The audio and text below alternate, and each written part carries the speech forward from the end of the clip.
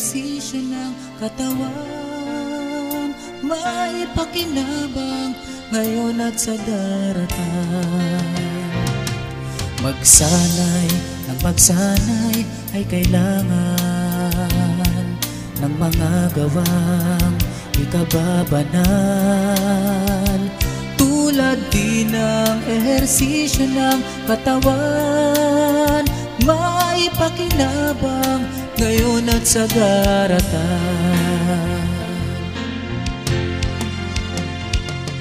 Kay dakila ng Diyos nating Ama Kay buti ng kanyang pangangasiwa.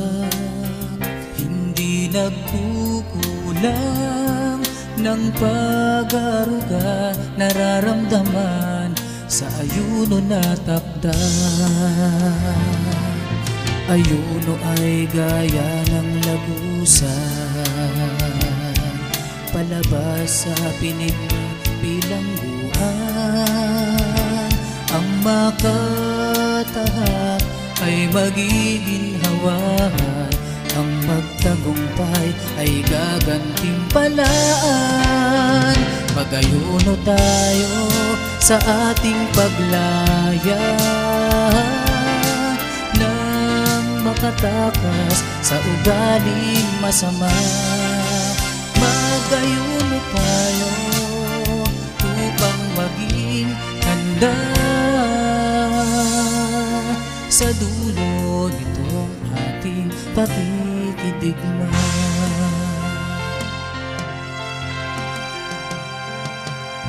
dakila ng Diyos nating Ama Kay buti ng kanyang pangangasiwa. Hindi nagkukulang ng pag-aruga Nararamdaman sa ayuno na takda Ayuno ay gaya ng lagusan Palabas sa pinig na bilangguan Ang makatahak ay magiging hawahan. Ang magtagumpay ay gagantimpalaan. Magayuno tayo sa ating paglaya. Nang makatakas sa ugaling masama Mag-ayuno tayo upang maging handa.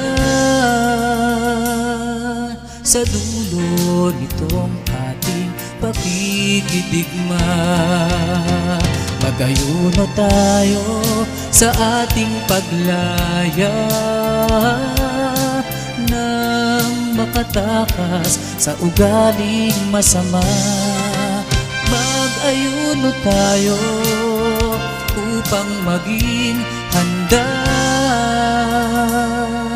Sa dulo nitong ating pakikitigma. Mag-ayuno tayo ng mag-ayuno Ating wasakin. Hadlang sa kasakdalan Patayin niya ang sangkap ng katawan na nasa ibabaw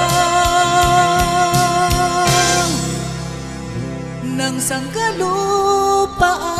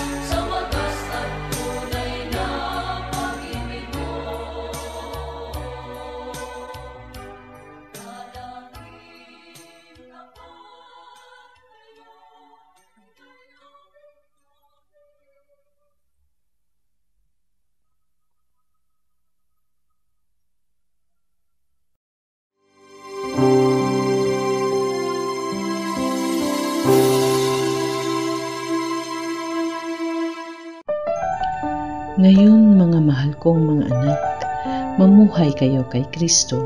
Sa gayon kapag siya ay nagpakita, magkakaroon tayo ng tiwala at kapag siya ay dumating, hindi tayo malalantad sa Kanya ng may kahihiyan. Unang 1, Kapitulo 2, versikulo 28 Tayo ang mga anak ng Diyos na Kanyang minamahal ng buong puso. Tayo ay ipinanganak na muli at mga bagong nilalang na nilikha upang gumawa ng mabuting mga gawa. Ang ating dating makasalanang sarili ay namatay kasama ni Kristo sa krus. Ang buhay na tinatahak natin ngayon ay nasa kay Kristo. Ang pamumuhay kay Kristo ay nangangahulugang nananatili tayo sa Kanya. Nananatili tayo sa Kanya kapag lubos nating pinagkakatiwalaan siya. Ginagawa ang Kanyang kalooban at namumuhay ayon sa Kanyang ebanghelyo. Ang pamumuhay sa kay Kristo ay nangangahulugan din na tayo ay napupuno ng Espiritu. Ang kanyang banal na Espiritu ay nananatili sa atin na nagbibigay ng ginhawa sa panahon ng pagsubok at direksyon upang mamuhay ng banal. Kapag ang ating pag-asa at pananampalataya ay nakasalalay kay Kristo, tayo ay namumuhay sa Kanya. Dahil tayo ay namumuhay sa kay Kristo, hindi tayo natatakot o nahihiya na lumapit sa Kanya para sa tulong. Maaari tayong lumapit sa Kanyang trono ng awa na may buong tiwala na siya ay makikinig sa ating mga panalangin at tutukon sa ating mga kahilingan. Higit pa rito, kapag siya ay dumating, tayo ay tiyak na magiging kabilang sa mga unang bubuhayin upang maghari kasama niya sa kahariang milenyal at pagkatapos ng isang libong taon ay makakasama siya sa langit magpakailanman. Magtaguyod tayo ng pag-asa sa isa't isa ng dakilang pag-asa ng buhay na walang hanggan. Ang lahat ng bagay ay magiging bago. Wala ng luha, gutom, sakit, karamdaman at kamatayan. Lahat ay magiging bago, pati ang ating mga mortal na katawan ay magiging immortal upang mamuhay sa walang hanggang kapayapaan, kasiyahan at ligaya.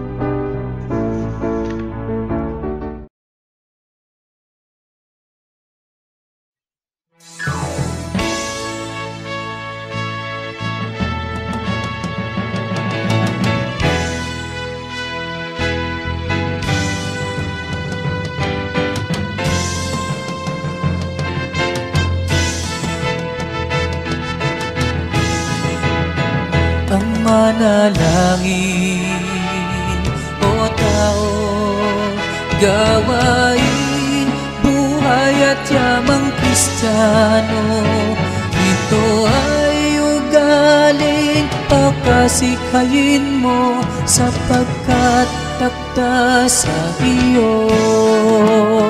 Pagkapatan, kasakdalan ay matang mo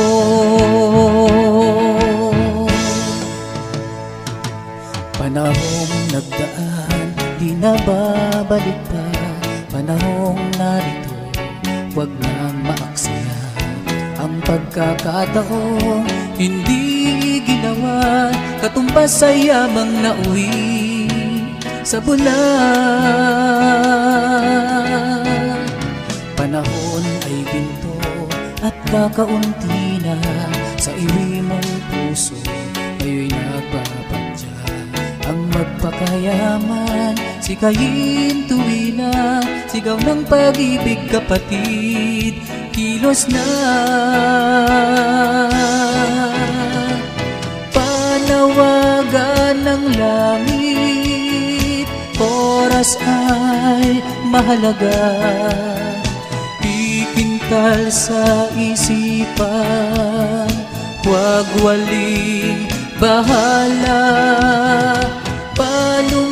pamumuhay. Ngayon ay kaligdan na. Sumulong at hagkan na. Yaong puspos na diwa.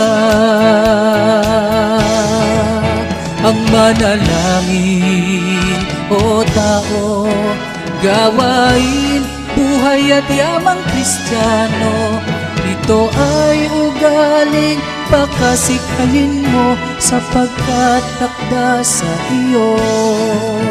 Pagkapatan, kasakdalan ay matamo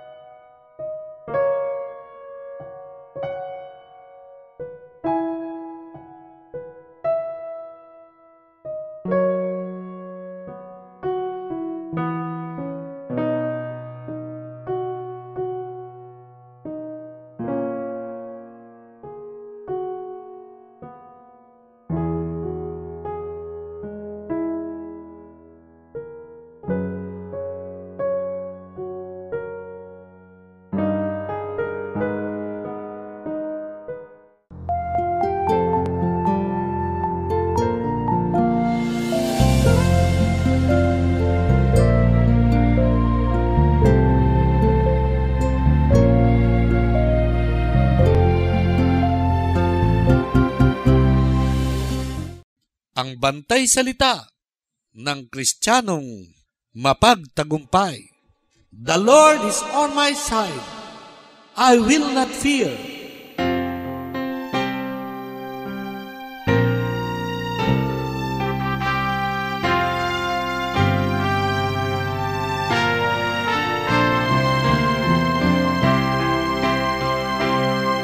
Hindi ako matatakot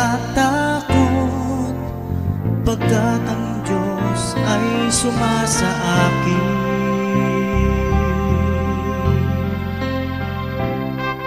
Hindi ako mangangamba. Ako'y kanyang tinutulungan Ako'y kanyang inaalalayan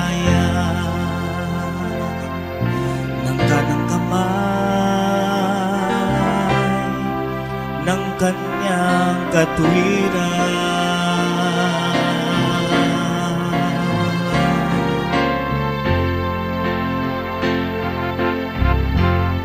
The Lord is on my side. I will not fear. May isang pagkakataon na ang mga alagad ay nakasakay sa bangka na kasama ng Panginoong Kristo Jesus.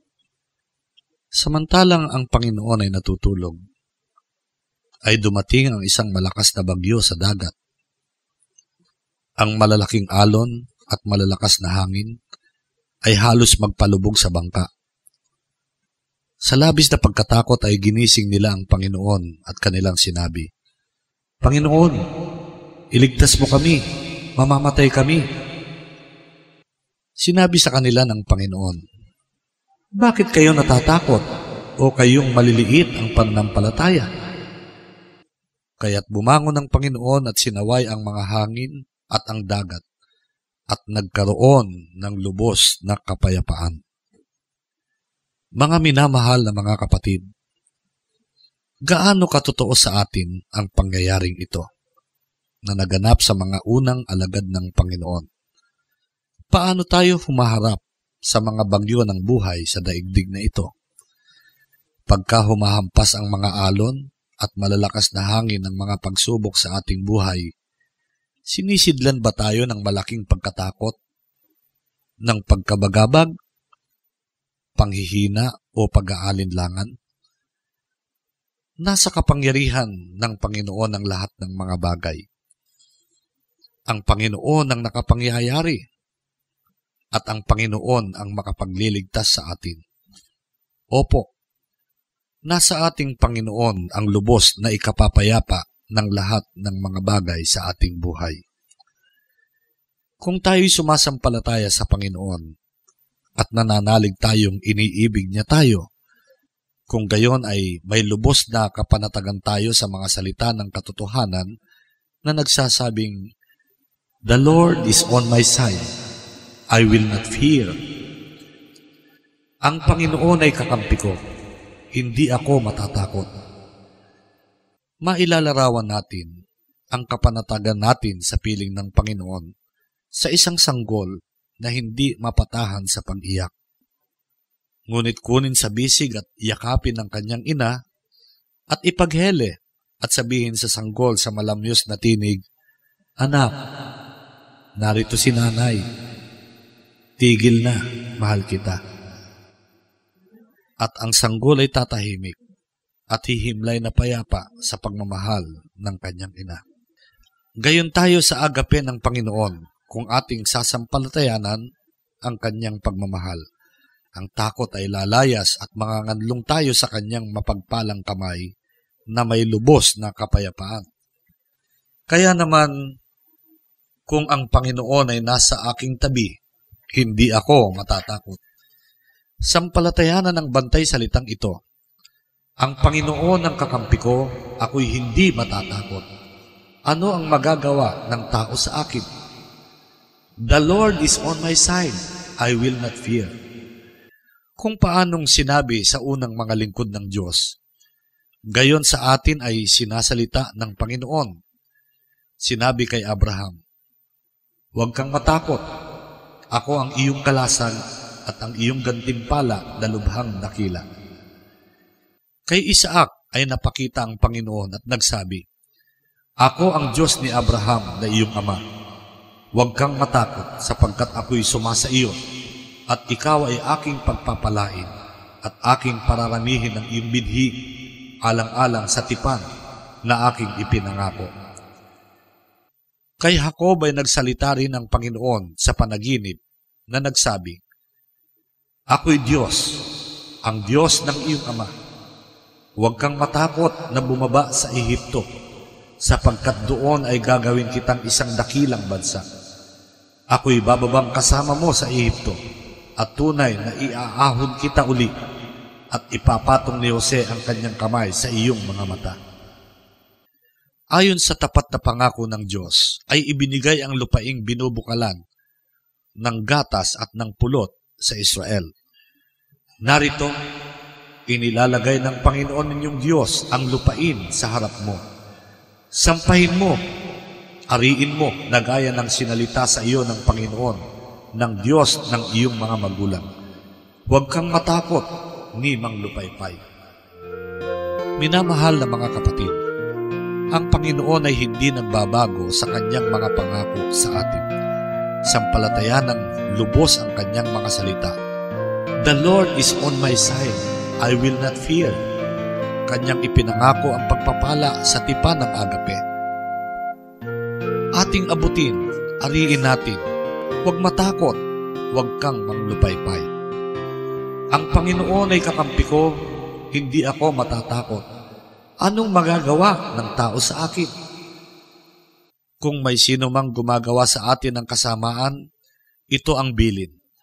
Huwag kayong matakot sa kanila sapagkat ipinakikipaglaban kayo ng Panginoon ninyong Diyos. Huwag kang mag-alinlangan, kapatid.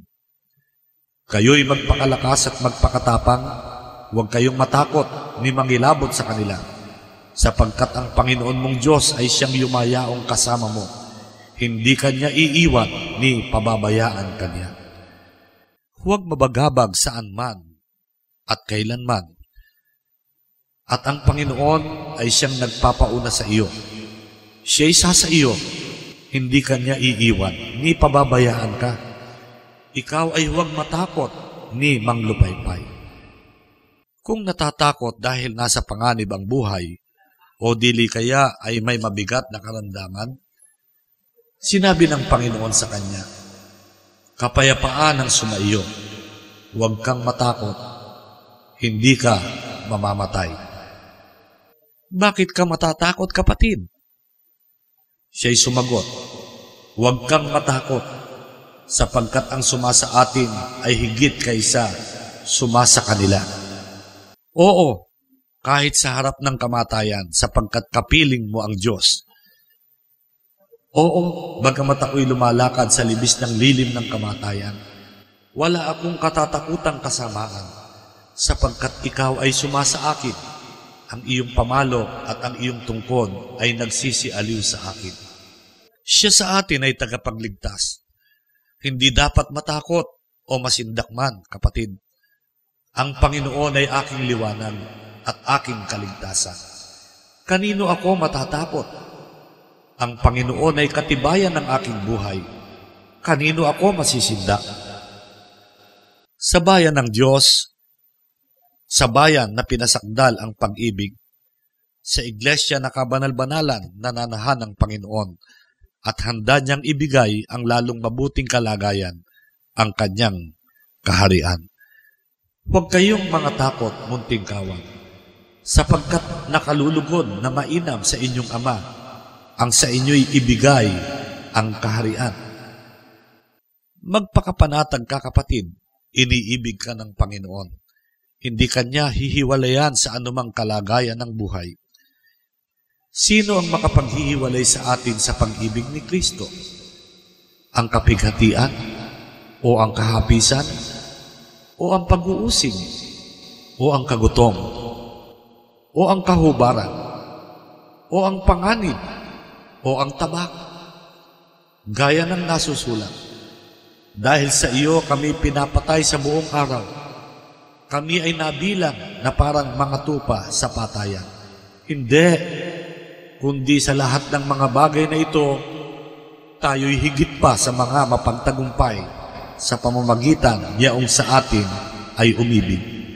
Sapagkat ako'y naniniwalang lubos na kahit ang kamatayan man, kahit ang buhay, kahit ang mga anghel, kahit ang mga pamunuan, kahit ang mga bagay na kasalukuyan, kahit ang mga bagay na darating, kahit mga kapangyarihan, kahit ang kataasan, kahit ang kababaan, kahit ang alinmang ibang nilalang ay hindi makapaghiwalay sa atin sa pag-ibig ng Diyos na nasa kay Kristo Jesus na Panginoon natin. The Lord is on my side.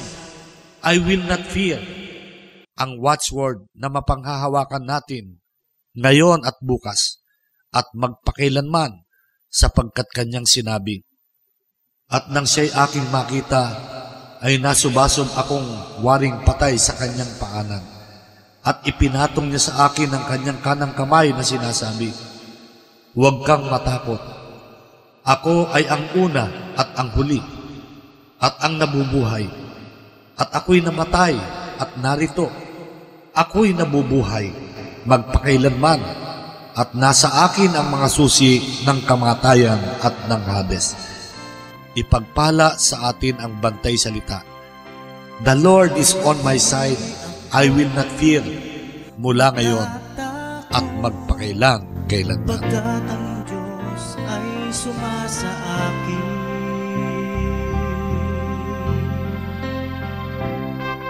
Hindi ako mangangamba.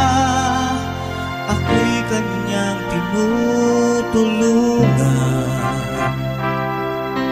Ako'y kanyang inaalalayan. Ng kanang kamay Ng kanyang katwiran